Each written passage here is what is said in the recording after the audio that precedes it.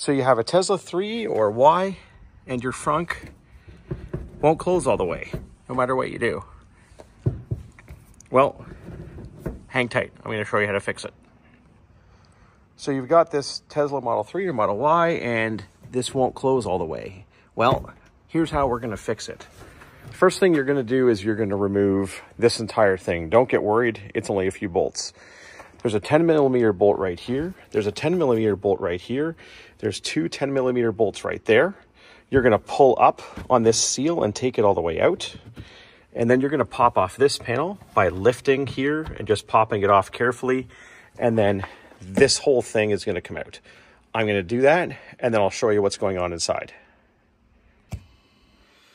Hey everybody, this is a Model Y frunk and I had an issue with my frunk not closing all the way. So it would latch part way, but not the rest of the way. Let me demonstrate. So this is the mechanism here. Uh, this cable is for the sensor to detect if the frunk is closed all the way. And this is the release cable. And this down here is the release actuator. So when you press the button on your phone or you press the button in the car, this actuator actually will pull on this cable. Now what that will do is unlock your frunk. When you put the frunk back down, um, your frunk actually pulls down. Let me see if I can show you this. The frunk is actually closed by the rod, which pulls down into this channel. And there's two positions. There's the partially closed position where it goes click and you'll see that it's partially down. And then the rest of the way down is closing all the way. And the problem I was having was it would go to the first click, but not the second click. And that's because this mechanism was a little bit frozen. I live in Canada and the weather here, it causes that. So I'm gonna show you how to fix this. So the first thing you're gonna do is you're gonna open, take these two screw, these two bolts out right here, okay? And the minute you do that, this whole thing is gonna become free. Now, when you flip this over, what you're gonna see is this is the mechanism that does all of that. So here's the cable and here's the little ball and it actually pulls on that. And what that does is release it. Now, what was happening was mine was not closing all the way. And because of that, um, this little switch here was not detecting that the frunk was closed. So when it's all the way down, let's see if I can get it all the way down for you, you'll see that this is sitting on this little micro switch there, and that's what's telling it that the frunk is closed. Mine wouldn't stay down all the way. This mechanism here, uh, this mechanism here was a little bit frozen. So I'm gonna show you what I did to fix that. First, let me open the mechanism up. So what you saw right there, what you saw was this cable getting pulled on, and that's actually opening this whole mechanism here. And what I found was this mechanism was not moving back and forth freely. So let's clean that up. This is a penetrating lubricant. Um, you really want to avoid just using this because it's really lightweight.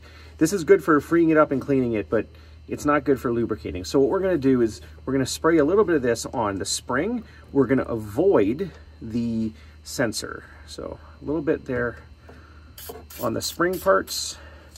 Then I'm gonna take a little shop towel here and I'm gonna sort of clean this up a bit. I'm also gonna clean this cable here right on the end. Okay. And then what I, what I wanna show you as well is where this ball connects to the spring, very carefully, watch your fingers, wiggle that back and forth like this, okay? See, like that wiggle that back and forth, and I want you to push it in all directions, all the way forward, all the way back. And keep on doing that, and I can even feel that freeing up even more. Because all of this sort of goo in here, it, it gets hard. Um, that grease, it gets hard, it gets dirt in it, and then that's what's stopping it from moving around. So we're gonna put a little bit more in there. Clean it up even more. We're gonna move it back and forth. Yeah, that feels nice and free now. Okay. So now that we've got it free, I'm gonna just kind of wipe it down a bit. Get all of that grease out of there. And now I'm gonna go and get like some real grease to actually put on this, but we're only gonna use a little bit. I'll be right back. Okay, so what I've got here is a little bit of bearing grease. I'm not really sure this is the right stuff to use, but it's what I've got, so I'm gonna use it. But we're only gonna use a little bit. So what I'm gonna do is I'm gonna put just a little bit of this, first of all, on this cable. So I wanna make sure the cable has a little bit on it. I'm going to sort of wipe it in amongst the springs down in the bottom. But I'm like super light coat. I don't want to leave very much there just kind of helping it stay lubricated here. And then on the mainspring, just a little coating there. Perfect. Now that I've done that, now we're gonna actuate this by hand and get some of that grease in there. So yeah, that's really good.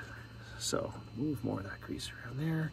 I'm holding it open, spreading, and I only used a tiny amount right? And that cable has some grease on it. Okay, so now what we're gonna do is I'm gonna actuate the lock here. I'm gonna press the uh, emergency button.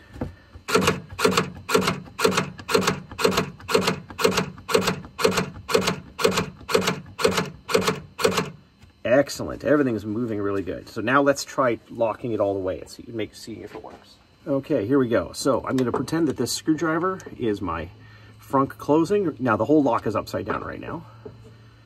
Okay, so there's one click and two clicks. And you can see it's two clicks now, and you can see that the switch is depressed. And now I'm gonna open it. Perfect. Okay, so now we're gonna put it all back together. First thing we're gonna do is we're gonna put this back on. Two 10 millimeter bolts is all you need here.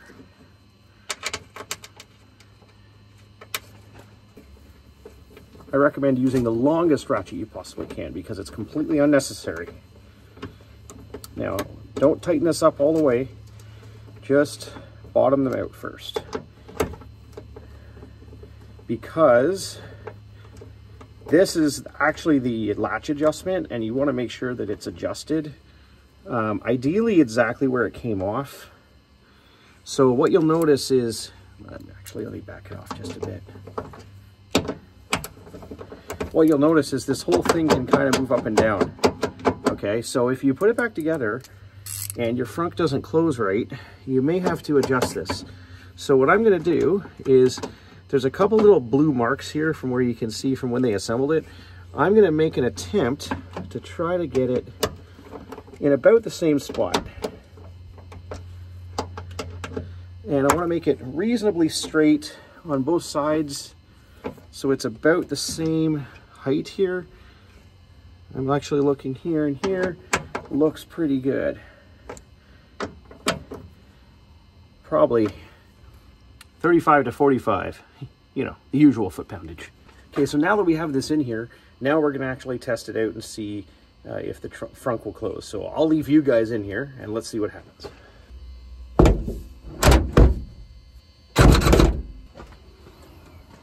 And look at that, it worked perfectly.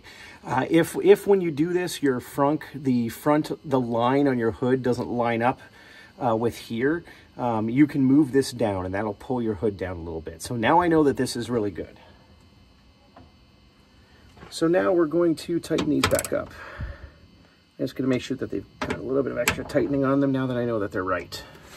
Okay, so the next step is gonna be to uh, put everything back together, put the hood back in. There's like a hundred videos online that show you how to do that, so I'm not gonna show you that. So hopefully this helps somebody out and uh, saves you a trip to the service center or, even on a road trip, saves you from doing the rest of your road trip at 24 kilometers an hour. Take it easy.